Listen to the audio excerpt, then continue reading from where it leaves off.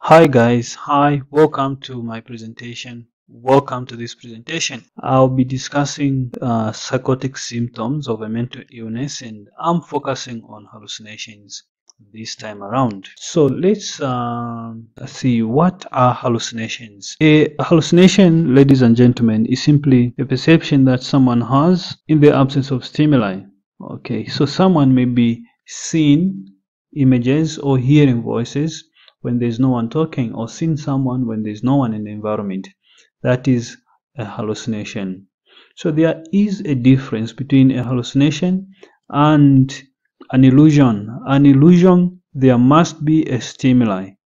For example, if there is a belt on the floor, then the person is seeing a snake. When there's a belt, that is an illusion. When there's no belt, the floor is clear, there is nothing, but the person is seeing a snake on the floor, that is a hallucination. Okay, so we are discussing hallucinations now. So there are different types of hallucinations that we need to know about different types of hallucinations and all these types of hallucinations affect the five senses that we have the five senses that we have so um, we have auditory hallucinations that affect the sense of hearing, visual hallucinations, they affect the sense of sight, tactile hallucinations, they affect the sense of touch, and gustatory hallucination, they affect the sense of taste, and olfactory hallucinations, these affect the sense of uh, hearing. Okay. So let's see what are these types of hallucinations. Let's look at let's look at them in details and see what they are. So auditory hallucinations, uh, these are the most common types of hallucinations that you will find amongst people who are suffering from a mental illness. And uh, the patient may hear voices very clearly, even if you're not hearing them because you are normal, the person who is sick may be hearing these voices clearly and you don't have to argue with them. Uh, voices may be amusing, meaning the patient may be hearing voices that are passing um, that that are passing um, amusing comments. Okay, they are passing jokes, and the person will be seen laughing and smiling alone. Uh, Voices may also be threatening, where the patient may uh, end up going into hiding, may become very fearful, and they don't want to be exposed because they are they are being threatened by these voices they are hearing. Sometimes voices may be abusive and insulting, uh, where the patient may end up uh, feel ashamed. Okay, the patient is going to be shamed they'll, and they, they'll, they'll, they'll lose that self-motivation. Voices may also be commanding, instructing the patient to do or carry out actions that they do not want to take. Okay, and uh, those are commanding voices. Neutral voices, these are voices that may just be talking about something else, and the patient is hearing these voices discussing something like a radio. Okay, the person will be seated quietly like they are listening to a radio. Okay, so these are auditory hallucinations. Alright, the other thing I would like to talk about is uh, are the signs of hallucination of a hallucinating person. Signs of a hallucinating person. The person may be laughing alone or shouting back at the unseen people okay because they are hearing these voices so they will end up laughing or shouting at the person who's who's shouting at them or talking to them or commanding them may just sit quietly but very attentively trying to listen carefully to what the voices are saying. Okay this is another thing that may happen to the patient. They may just sit quietly trying to listen to these voices uh, trying to get what they are saying. Occasionally he may ask you to listen okay? He, he may ask you to listen to what they are to listen to what these voices are saying or listen to what they are saying. makes an effort to block off the noises by plugging their ears with fingers or cotton. Yeah, sometimes when voices are, are too much, they are threatening so much, the patient may decide to block uh, their ears because they don't want to hear these voices anymore. Okay. And um, sometimes the voices may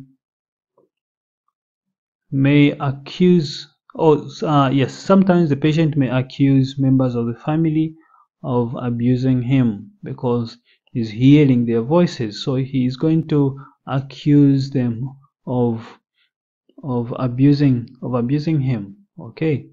When especially when he relates those voices to any member of the family he's going to start accusing that person of abusing him okay? Um auditory hallucinations are common in schizophrenia. Yes they are very very common in schizophrenia. So we have different types of uh, auditory hallucinations. Sorry i didn't list them down here. We have different types of auditory hallucinations. We have audible thoughts. Audible thoughts this is where a person is hearing his own thoughts he begins to hear his own thoughts through his own ears. Okay. We, the other type of hallucination auditory hallucination is called extracampine hallucination.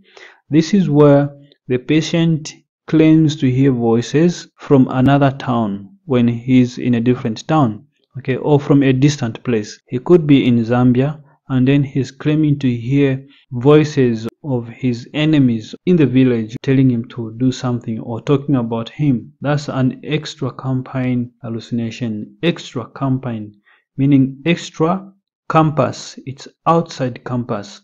Out of reach. Functional hallucination it's another type of hallucination that um, the patient may may suffer from. The functional hallucination a type of hallucination where the patient hears voices when there is um, another known sound playing. For example, if the radio begins to play, that's when the patient hears these uh, voices talking about him. Okay, this is why you see a patient uh, at attacking the radio. He picks up the radio and smashes it on the ground because whenever the radio plays, he hears these voices talking about him or commanding him to, to do something or threatening him. So he ends up smashing the radio. Okay, that type of hallucination is called functional hallucination. Okay, functional hallucination.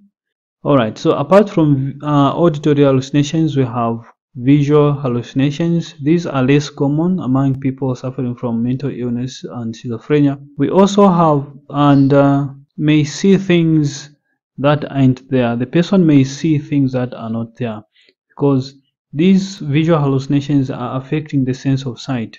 Okay, so the person may be seeing images that are not in the environment actually. For example, you might see insects crawling on your hand or on the face of someone you know. Alright so these are simply visual hallucinations. Tactile hallucinations these affect the sense of touch okay? These are fairly common and the person usually tend to have the sensation of touch or something crawling on his skin. Tactile hallucination is a false perception of tactile sensory sensory input that creates a hallucinatory sensation of physical contact with an imaginary object. So the person begins to to to feel like there's something that is touching him okay? That is a tactile type of hallucination. Um, another type of hallucination is called phantosmia also known as olfactory hallucination. Phantosmia or olfactory hallucination. This type of hallucination um, affects the sense of smell. Uh, this one makes the patient detect smells that are not in the environment. Okay so these smells could be these odors could be pleasant or very foul smelling. So they may occur in both nostrils or just one nostril. Okay so uh, the person has what we call phantom smells. Gustatory hallucination. Gustatory type of hallucination this is a type of hallucination that affects the sense of the sense of taste so gustatory hallucination affects the sense of taste. the person usually has a bad taste of the food. It could be uh, it, it could be bad taste or very good taste of food. Okay, and when the person has got this type of uh, um, the taste, they may end up refusing to eat the food because they are they they they feel the food is poisoned and they want to be someone is trying to poison them because they are having this bad taste of food.